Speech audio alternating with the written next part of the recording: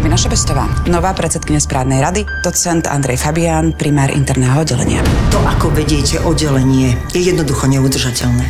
Starý primár Fabián by sa aj páčil viac. Starý Fabián so mnou nemá nič spoločné. Nezmeškajte začiatok novej série úspešného seriálu Budeš v poriadku, postaram sa o teba. To nie je moja vina, rozumieš? Bojíš sa, že nás ujde spolu? Ale neboj sa, prosím ťa. Pamäť sa mu už nevráti. Nastúpili ste na dlhú cestu. Keď som to dokázal ja, je tu veľká šanca, že to dokážete aj vy. Začneme? Druhá šanca už v pondelok o 20.30 na Markíze.